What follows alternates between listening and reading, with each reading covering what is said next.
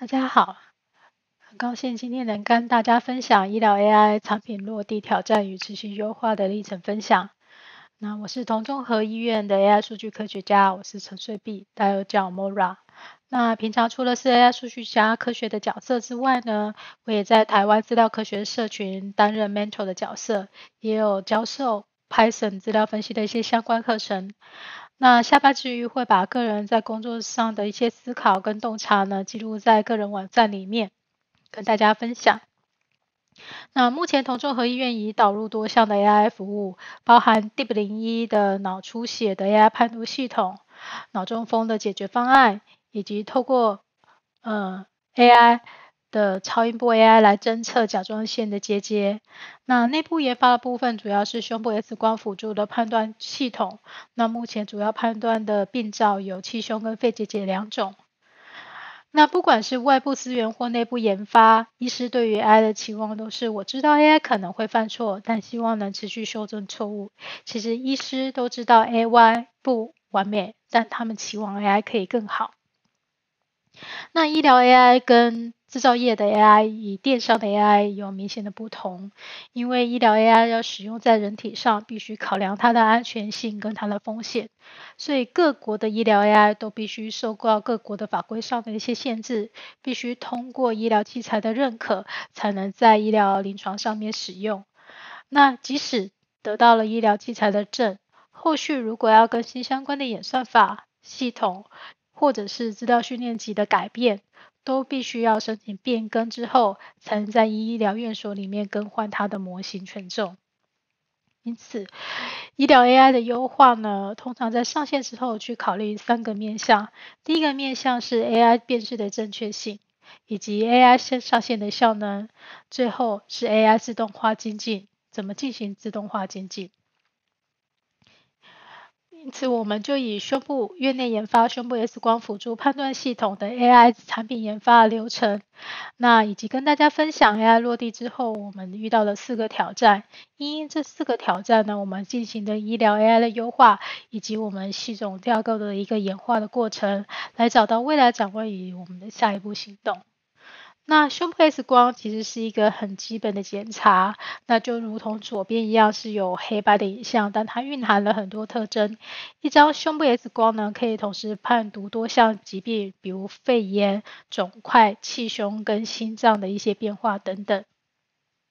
那胸部 X 光还可以检查出大约七八十 percent 的肺癌的病人，达到早期发现、早期治疗的一个呃愿景。所以胸部 X 光呢，其实是非常有用的一个医疗影像。那我们透过受检者胸部 X 光的流程，来找到胸部 X 光 AI 辅助判读能协助医疗流程的一个位置点。从受检者到院，到医生诊疗，到开胸部 X 光的一个检验单，进行胸部 X 光拍摄之后，我们在放射。接下来进行放射科医师撰写报告跟临床医师查报告的部分。那我们发现到放射医医师呢，在登打报告过程里面呢，会受到经验值的一些影响，也会发现部分病灶其实不容易判断，或者部分病灶容易被忽略的一些状况。那临床医师呢，由于并非放射专科，所以他在做诊疗跟动作里面会很。很大的比重需要去参考放射医师登打出来报告的结论。那如果放射科医师报告没有还没出来的时候呢，他就会拨通电话来咨询放射科医师的专业的一些判断。所以我们会发现到两个可以协助的位置点。第一个是放射科医师撰写报告的部分，来协助医师避免漏看的这个现象，来提高医师的一个安全性。那另外是临床医师。的部分，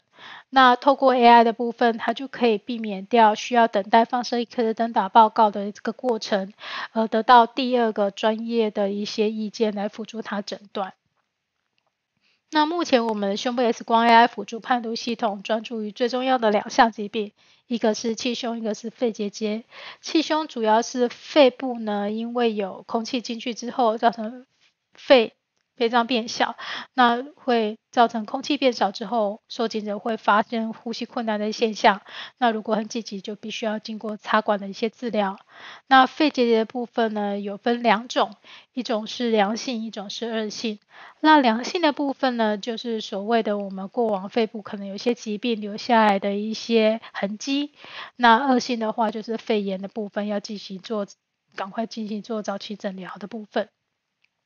那这两个疾病都是非专科医师容易忽略的点。那左方面这个图呢，就是其实是一个有气胸的影像。那气胸主要辨识的特征，主要这就是那个热膜线。那热膜线的位置就是在两个三角形的交接点交集的部分，我们发现热膜线。你就会发现热膜线其实很微小的一条，而且它的位置可能不一定出现在这个地方，有可能出现在胸腔的任何一个部位。那你就会发现。这这张影像如果掺杂在很多健康的影像的里面的时候，你就很容易忽略气胸的一些状况。那肺结节呢？它一到两公分肺结节容易受限于发生的位置，比如像下面这个红色圈出来的点，它发生位置就是它这个肺结节是跟肋胸骨是重叠的，所以我们就不容易去侦测。那目前的 AI 的模型的能力呢，主要在平均而言，它的 AUC 是有九十九 percent，它的敏感度大概九十二 percent，特异性大概九十八 percent 左右。那肺结节由于它的病症比较多元，所以目前整体的 AUC 是九十六 percent，它的敏感度接近九成，特异性也接近九成。但总体而言，这两个模型都都有达到 FDA 申请医疗认证的标准，AUC 至少要到九十五 percent 以上的水准。同时，我们也把同综合的气胸 AI 模型跟已经上已经通过 FDA 认可的气胸分类产品去做交叉比对，而发现我们同综合 AI 的 AI 跟其他的气胸分类产品其实有相似的一个辨识能力，因此我们就很有信心在二零二一年的七月将 AI 落地在放射科跟急诊医师使用。那透过这个方式，我们得到放射科医师一些回馈。那我们把这些 AI 模型呢，为了贴近使用者的工作流程呢，我们把我们的开发出来的 Web AI 把它嵌入在原本的放射科报告系统里面。那我们得到一些回馈是，放射科医师说，有了 AI 之后，可以让他很放心，的确达到提醒的一个功效。那临床医师呢？为了在健检里面要达到很快速的进行看到 AI 辅助判断效果，所以我们有建立一个快速通高通关的一个流程。当急诊拍摄完之后，可以按照按下一个快速的按钮，就可以在五秒内得到 AI 辨识的结果，让急诊医师可以快速的得到一些 AI 的初步辅助的一些建议。那为了达到上述目标，我们的目第一阶段的 AI 系统架构呢，推论架构主要包含四个部分。那前两个部分就是 AI 训练跟 AI 服务，我们自动的从 HIS 跟 PAS 系统呢去捞取资料，然后透过我们自建的影像标注系统来累积标注跟影像资料库，进行模型训练以及评估。透过 Dark 跟 Flask 来包装我们的 AI 模型。那我们 AI 服务系统呢，就定期去捞取是不是有新的 Pass 影像进来，来进行及时的辨识、及时的推论，及时将推论结果跟推播给放射科的医师。那除了 AI 服务，我们也有做了 AI 的系统的监控，通过一些开源的软体来侦测 Web Service 的状态、伺服器的状态跟程式错误的监控等等。那同时，我们为了要监控 AI 模型的效能，我们也在呃前端来进行一些设计，来收集使用者的回馈。好，那我们在前端的这个页面里面的。右上方有一个问题回报的按钮，那透过这个问题回报按钮的回馈机制，当按下去之后会跳出一个视窗，那透过点选的方式，让医师可以方便快速的反映 AI 的辨识结果。那他当当他点选 AI 对于 AI 它的判读跟 AI 的判读有明显的不同的时候呢，就可以经过点选之后，那并填入它对应的一些判读的一些建议的回馈。那按下送出之后呢，就可以回馈给后方的资料工程进行模型的一些嗯验证跟确认的部分。好，那透过这个 AI 模型，我们成功协助急诊患者呢及早发现肺癌。那我们成功的协助间接发健检受检者呢发现有气胸的情况，然后进行立刻进行插管治疗，七天后恢复健康。但没想到落地之后，才是我们正式挑战的开始。我们迎来了四大挑战。那第一个挑战呢，是我们接受到医师的一些回馈，他发现 AI 容易将胃部辨识的胃中的食物辨识成肺结节的部分。那我们一开始收到这个回馈的时候，觉得哎，这个是机器的错是可以理解的，因为其实胃部的这个肺结节的部分，其实其实真的长得很像肺结节的特征。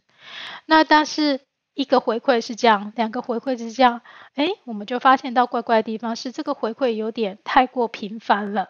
而且都是同样的错，所以不禁让我们去思考这个原因到底是怎么产生的。所以我们就从资料旅程上去找出原因。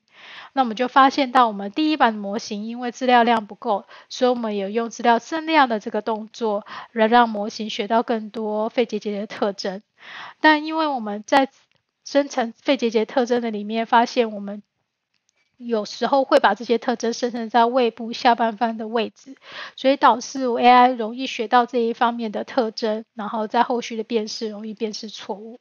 所以为了避免这样的修正这样的错误呢，我们就将资料增量限制在肺部。然后为此呢，我们就建立一个能辨识出透过胸部 X 光辨识出肺部区域的 AI 模型。那这个模型呢，其实它的大值也有零点九六左，是一个很高的一些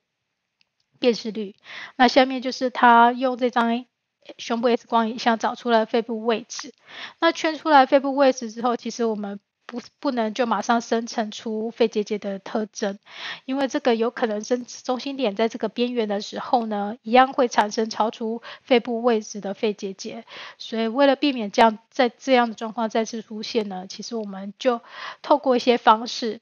呃，透过侵蚀的这个手法，先把一个肺部往内缩小的方式再做生成，那就可以避免那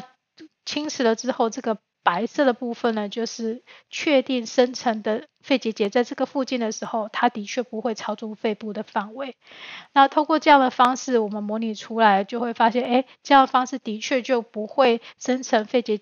生成的肺结节超出肺部的范围，就能大大应该就能大大降低我们刚嗯把胃部的食物辨识成肺结节这个状况。那的确，我们在做了这样的调整之后，我们就成功降低胃部食物误判成肺结节的这个情形。那同一张影像在旧模型的几率是大概零点六左右，那新模型的几率就大大下降在零点二左右。好，那在第一个挑战里面，我们就学到，当模型预测错误的时候，我们需要透过视觉化探究原因或回溯训练的流程，才能找到优化的下一步。好，那刚刚是。被动的接受回馈，我们就想说，那我们是不是有办法做主动的知道 AI 模型现在线上线的状况？那由于一天 AI 辨识的量其实是蛮大的，我不可能每一张影像都请医师来进行帮我标注，所以我们求取退而求其次，我们先以 AI 阳性为主来建立我们的监控仪表板。那这个监控仪表板就建立在我们的 AI 监控的这一层。那我们透过 Grafana 这个软体来直接串接我们资料库，来进行前端的指标的一些呈现。那这个 AI 监控仪表板呢，主要是会连接 AI 服务系统。AI 服务系统里面，当辨识到 AI 是阳性的时候，它会把它抛送到影像辨识系统里面来，让医师进行影像的一些标注。那当标注的之后呢，再跟 AI 的辨识结果进行比对，然后呈现在这个 AI 阳性监控的仪表板上。那同样透过这样的架构跟流程呢，那我们就可以马上的进行。实际上线看 AI 目前的一些上线的状况，那我们才发现到原本九十九 percent 准确度的模型呢，上线之后呢，我们的 recall 呢跟 PPV 只有四十七 percent。那这四十七 percent 怎么来的呢？其实是我们最主要要去挑战的第二个点。那我们会发现疾病胜去率其实是不是平衡的？这胜去率的意思就是在一万个里面有多少人呢会？会有气胸的状况，大概是一万分之一。那所以这个阳性跟阴性比例其实就不像我们在训练模型的时候，我们会设计出来一比一的状态。那实际上现是一万比一。那在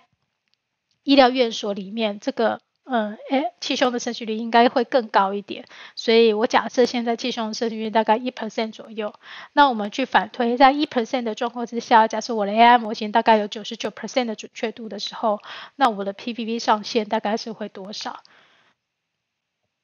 那透过这样的反推，盛行率一比一百，所以我有一百个阳性的话，就有一万个阴性。那透过这样方式，我就可以算出来我的 P V 大概是五十五十左右。那我们的 NPV 大概百分之百。好，那其实为什么我们要算 PV 这个指标呢？因为医生大部分都是以 AI 阳性的为主，来特别会做检视的动作。所以当 AI 告诉他阳性的时候，他就会特别看影像中是不是有的确要他留意的位置。好，那如果是五十 percent 代表医师看了一百张影像，AI 阳性里面只有五十 percent 是对的，那他就会觉得，哎。有五十 percent 是错的，会干扰他，会降低他的一个登达报告的速度，那他就会觉得是不是有机会可以更好？所以，但这个有没有机会可以更好呢？其实受限于跟盛行率其实是成正比的。所以，当你的模型当上线之后，你的盛行率是低的时候，那就会导致你 PP 是低，这是大家后续在导入 AI 导入到各个不同疾病里面要特别注意的一个点。好，那因为我们知道了使用者的回馈，那我们知道我们的策略就是要以提高 PPV 为主。那提高 PPV 呢，其实要同时考量 sensitivity 跟 specificity。也就是说，我这个 ROC 客服里面，我要尽量往左上方走。那左上方走，代表我要不断更快的能更新我的资料的一些状态，所以我们就开启了整个 MLOps 这个旅程。那其实。总共有两个指标，一个是 sensitivity，一个是 specificity 的部分。那我应该往哪个方向去精进呢？所以右边的这张图让我找到下一步精进可能的点。好，这张图其实蛮有意思的。它的横轴呢，这个是 prevalence 胜选率，纵轴是 PPV。好，我们会看到三条曲线，这三条实线的曲线的差异呢，它是固定在呃敏感度一百分之百之下所有特异性的变化。所以最左右边的这个是九十 percent 的特异性，这是九十九 percent，最左边的是九十九点九。那我们可以看一下我们的气胸模型的线，大概会是在红色的这一个位置的区间，会可能是我们的嗯这个曲线的部分。好，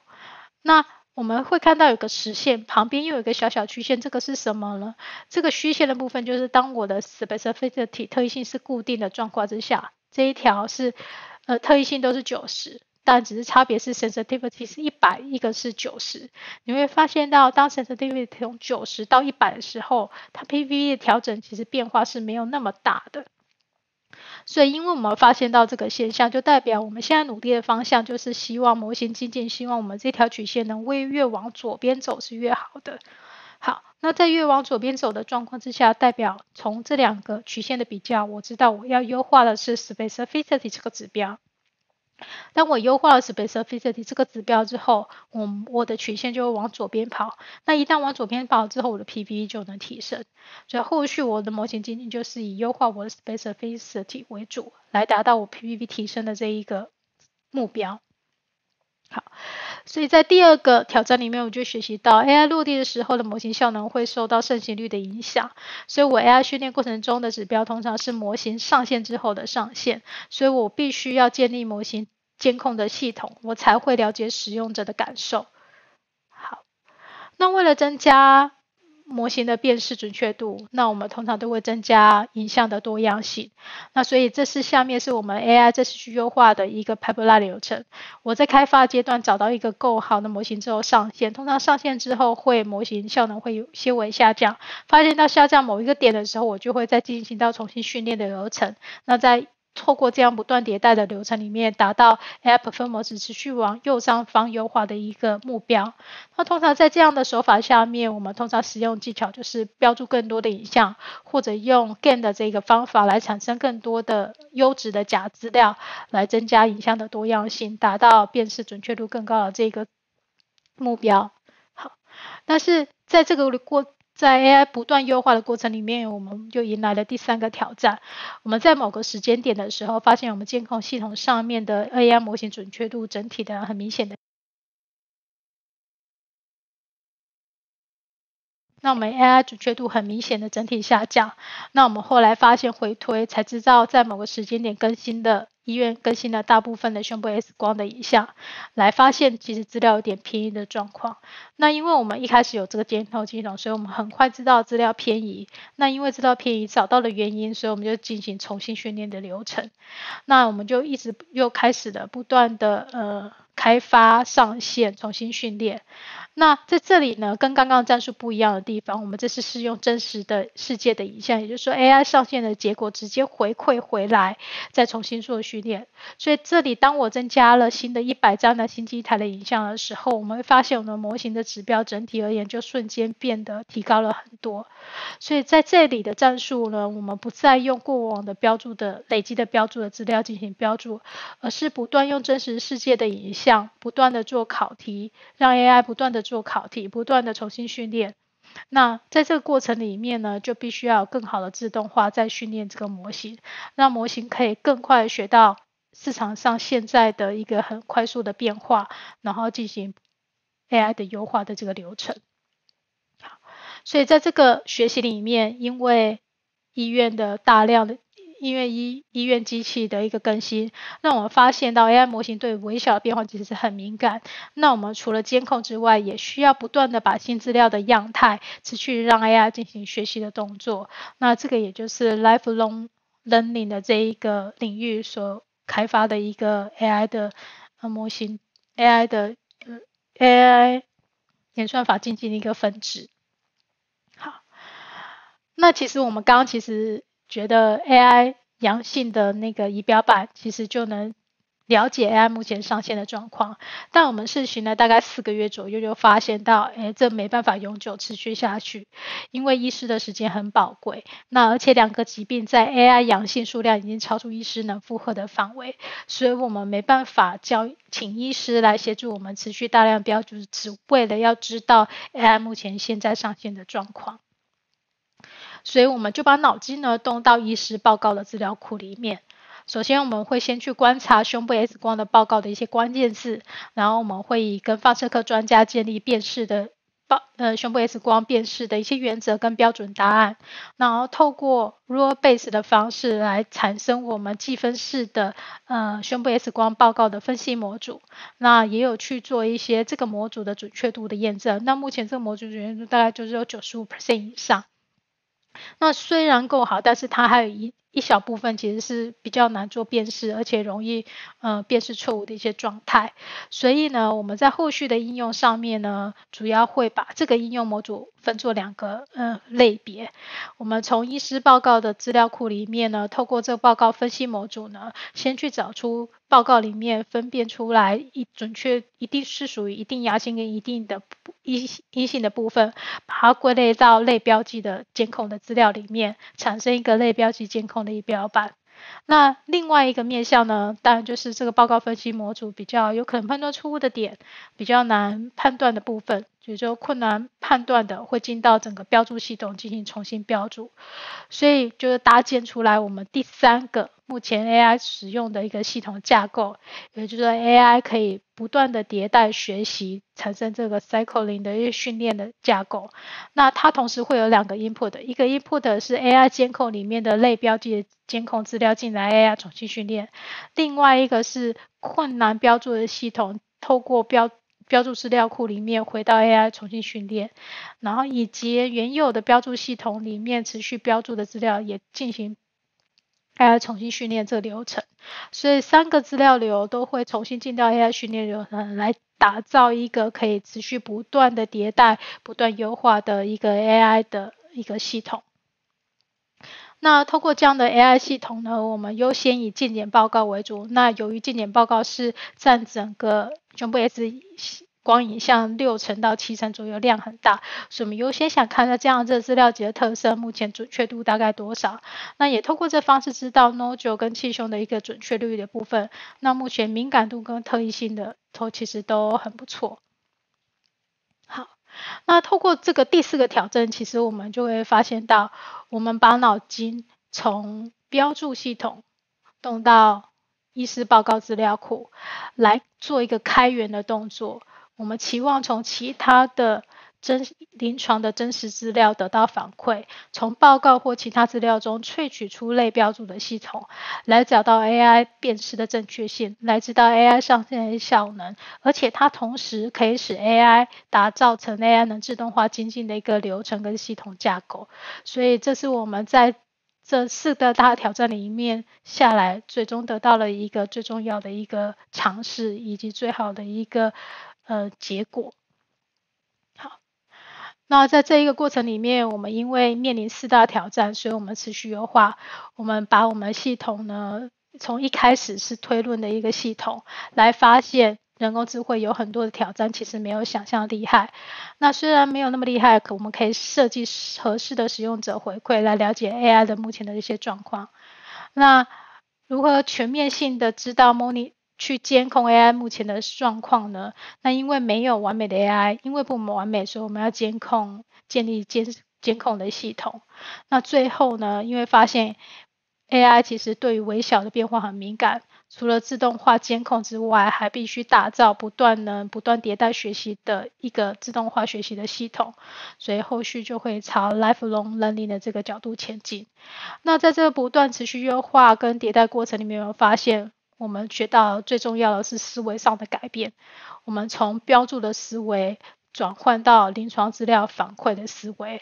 然后打开似乎打开了另外一扇窗，去不断从现场的临床资料库里面找到哪些资料是适合可以拿来做类标记的资料的，